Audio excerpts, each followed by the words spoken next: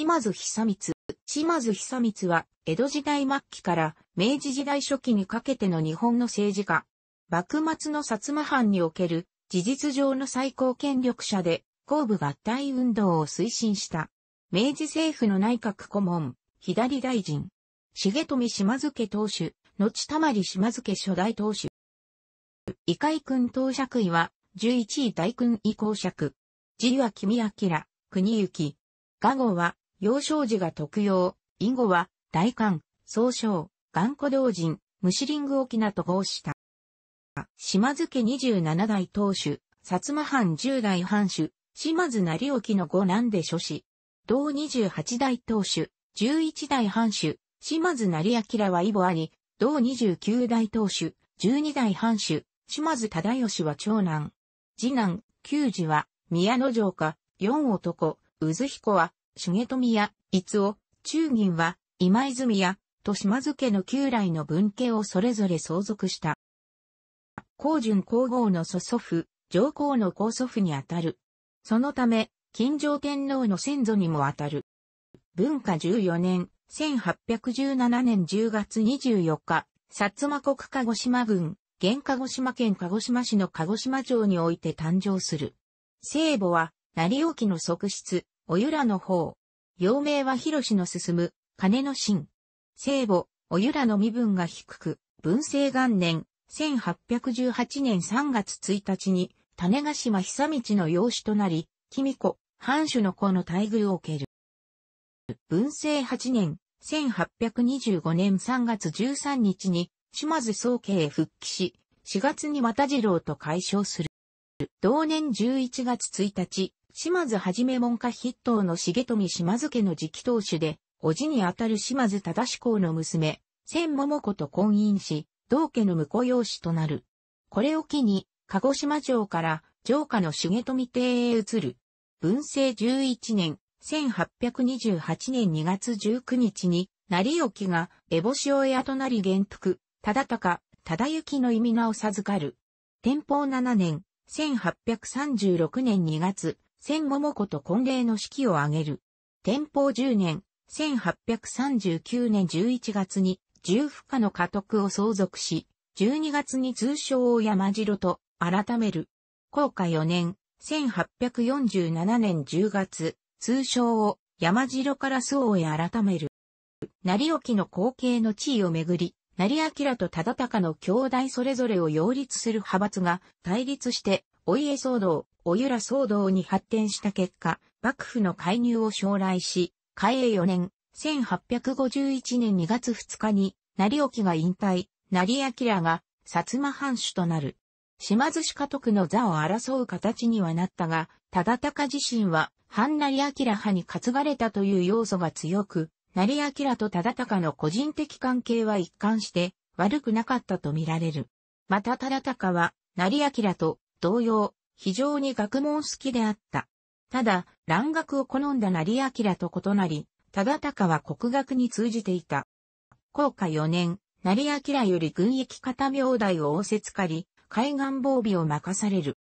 安政5年、1858年7月16日に、成明が死去すると、遺言により、忠敬の実施、忠則が12月28日、藩主に就任する。忠則は、翌年2月、将軍、徳川家持に謁見し、その返記を授かって重久と改名。後の中に、重久の貢献を務めた成沖が、安政6年、1859年9月12日に、没すると、藩主の実父として、重久の藩内における政治的影響力が増大する。文久元年、1861年4月19日に、総慶復帰、国府の礼をもって偶されることになり、反省の実験を掌握する。23日、通称を泉、意味名を久光に改める。文久2年、1862年2月24日、重富邸から新築の鹿児島城二の丸邸へ移る。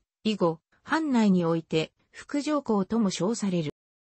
藩内における権力拡大の過程では、小松清廉、立脇や中山中左衛門等と合わせて、大久保利道、西所厚、伊地知貞、堀中左衛門、岩下方平、海田信義、吉井智美等、中華級藩士で構成される有志グループ、清中組の中核メンバーを登用する。ただし、清中組の中心であった西郷隆盛とは修正ぞりが合わず、文久2年、1862年の立兵上行、口述時には西郷が無断で上坂したのを責めて、遠投処分、徳之島、後沖の選ぶ島に入る西、藩内有志の嘆願により、源氏元年、1864年に西郷を赦免する際も、苦渋のあまり加えていた銀のキセルの吸い口に歯型を残したなどの逸話があるように、両者の間には、祖母があり、最後まで生涯にわたり完全な関係修復はできなかった。江戸に送られた、伊地知貞は、文久元年、1861年12月、芝の判定を燃やして、参勤交代は不可能と申し開きをした。また有力大名を通じて、久光を無意務官の島津三郎から待遇を改めさせようとした。それらは状況工作を行うためで、この江忠弘とこの江忠夫妻は、直命獲得の終戦を依頼して、家来の中山実義と大久保利道を京都へ送った。波平行安の剣を朝廷へ打ち込した中山だが、安政の大国で幕府の鉄槌を食らっていた忠房は、消極的に拒絶をした。大久保も京都で工作したが直命はもらえなかった。しかし薩摩は拒絶に関わらず上京する決意を固めていた。中山の副明治には、孔明天皇よりの新官、漁政の和歌がもたらされた。文久2年、1862年、後部合体運動推進のため兵を率いて、上京する3月16日鹿児島発、4月16日、京都期。朝廷、幕府、夕飯の政治的提携を起とする久光の運動は、冒険、成明の意志を継ぐものとされた。京都滞在中の4月23日、伏見、現京都府京都市伏見区の寺田屋に集結した有馬新七ら自藩の尊上派過激分子を粛清する寺田屋事件を起こす。朝廷に対する久光の働きかけにより5月9日、幕政改革、自身を幕政参画を要求するために直使を江戸へ派遣することが決定され、直使随従を命じられる。幕府への要求事項として、以下の三次、作、1は、長州藩、2は、岩倉智美、3は、薩摩藩の各意見を採用したものが決められた。出府に先立って5月12日、通称泉から三郎へと改めた上で、21日に、直使、大原重徳に随従して、京都を出発、6月7日に江戸へ到着する。当地において、直使と共に幕閣との交渉にあたり、7月6日に、吉信の将軍後見職、9日に春学の政治、総裁職の就任を実現させる文久の改革。直使投下の目的を達成したことで、8月21日に江戸を出発、東海道沖京の途上、武蔵国吉樹郡生麦村、玄関長川県横浜市鶴見区生麦で、イギリスの民間人4名と遭遇し、久光一行の行列の通行を妨害したという理由で、随藩の薩摩藩士がイギリス人を殺傷する生麦事件が起こる。ウルー8月6日に京都へ到着、9日に参大して幕政改革の成功を覆明した後、23日に京都を発し規範する9月7日、鹿児島期。イギリス人殺傷の一件は、結果的に翌文久3年、1863年7月の撮影戦争へと発展する。おそらくこの時が彼の絶頂期である。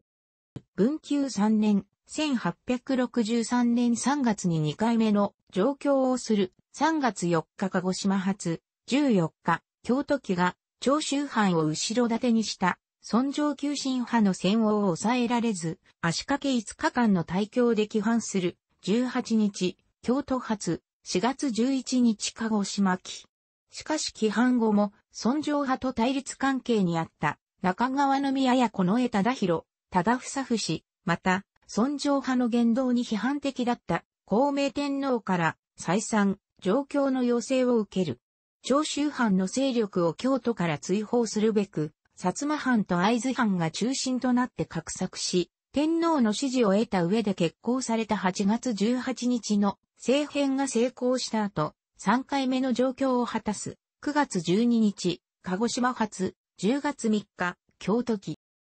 久光の権利によって、朝廷会議、長義に有力諸侯を参与させることになり、12月30日に、一橋義信、松平春学、前土佐藩主、山内陽道、前宇和島藩主、伊達宗成、会津藩主、松平片森、京都守護職が、長義参与を命じられる。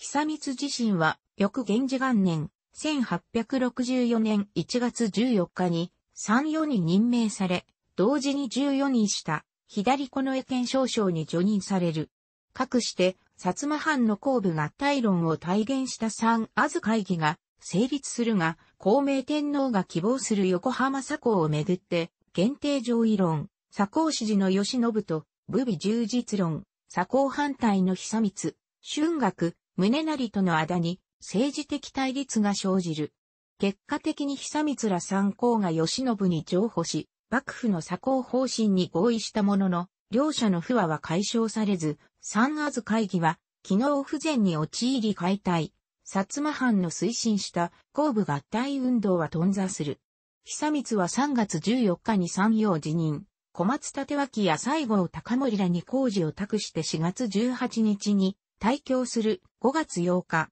鹿児島期。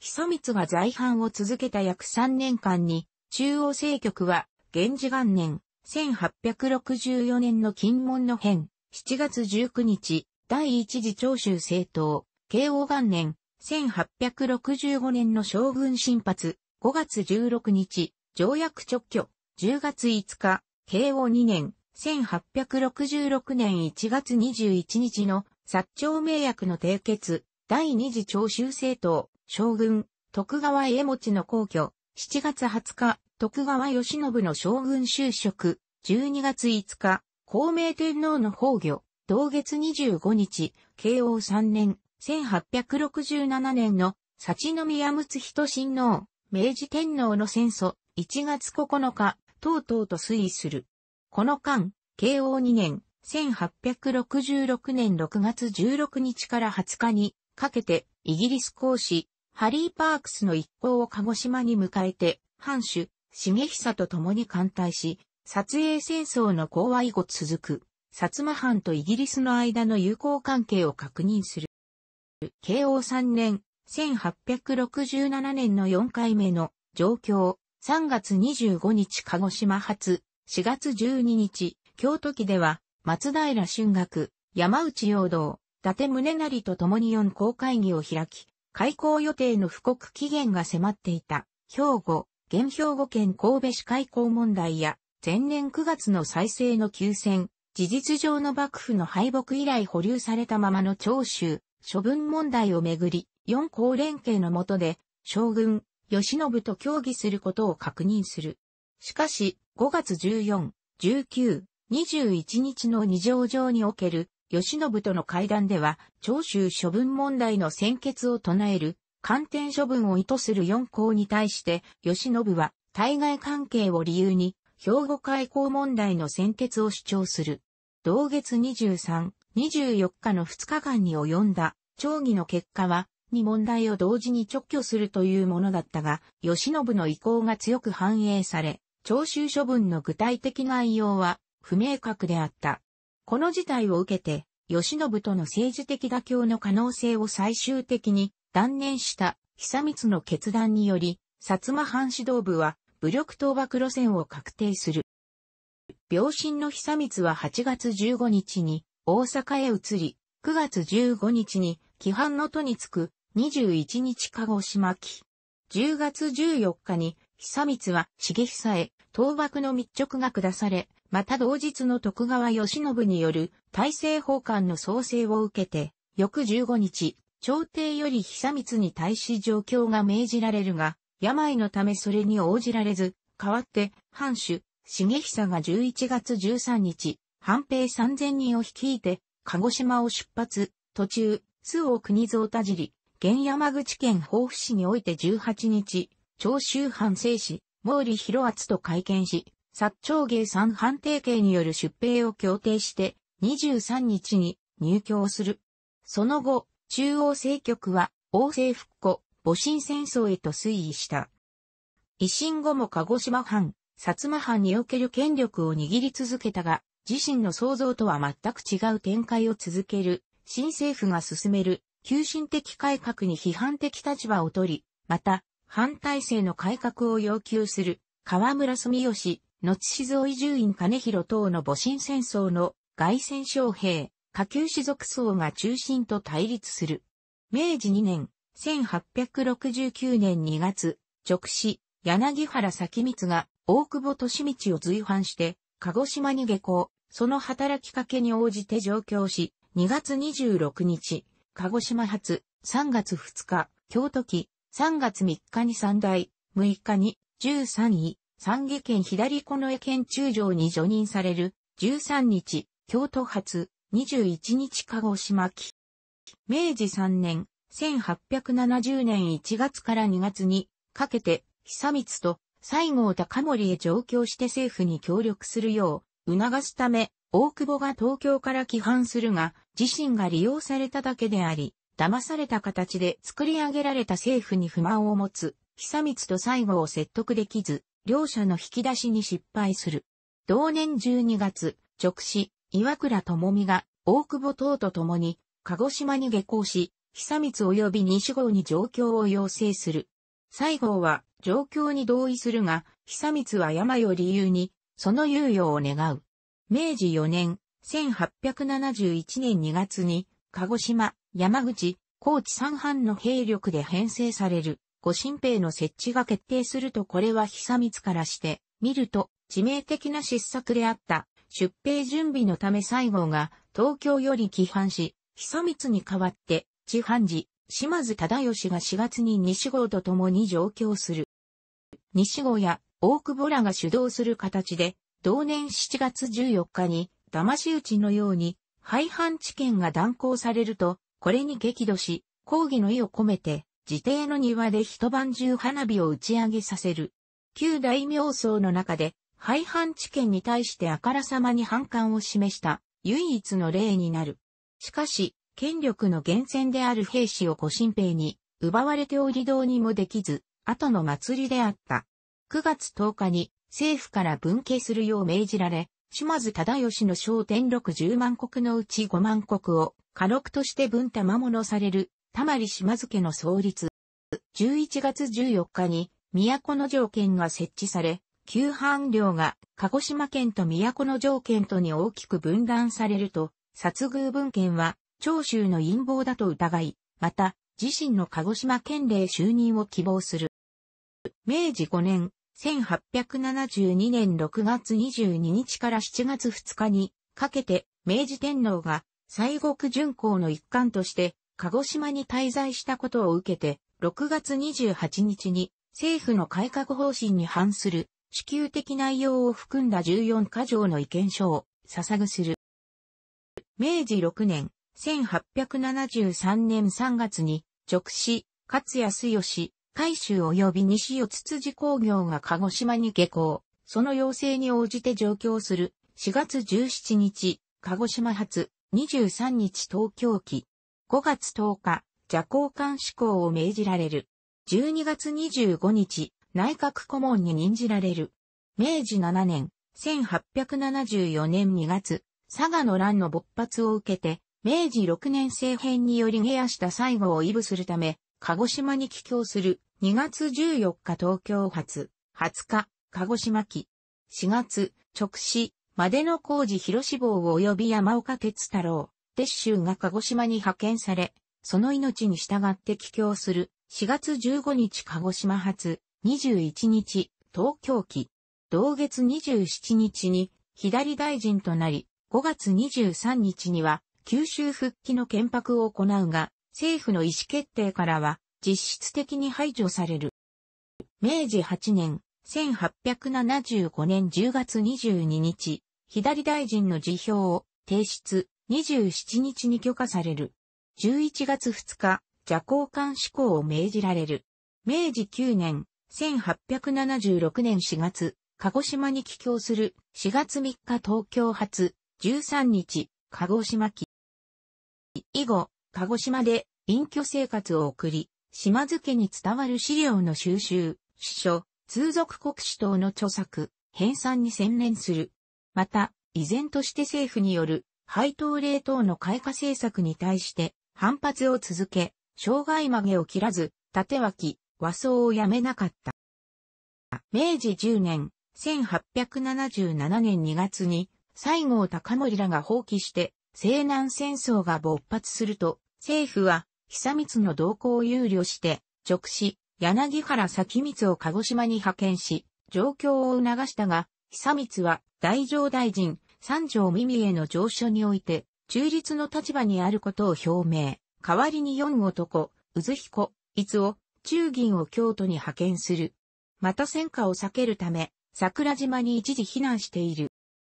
この後も政府は、久光の処遇に苦慮し、上位、助君や呪弱において、最高級で偶した。政府は久光に気を使っていたが、西郷と大久保が死んだ後はそれもなくなった。そして最後まで、西郷、大久保に騙されたと言い続けたと言われている。明治20年、1887年12月6日に死去、去年71、国葬をもって送られたが、東京ではなく、鹿児島での国葬となったため、葬儀のために道路が整備され、熊本鎮大から騎乗兵一大隊が派遣される。たまりや、公爵は七男、ただ沈みが継承する。墓所は、鹿児島県鹿児島市の島津家墓地。鹿児島市、照国町鎮座の照国神社に銅像がある。日付は明治4年までは旧暦、主に五歳指定用、小古修正館、起用五号を参照。楽しくご覧になりましたら、購読と良いです。クリックしてください。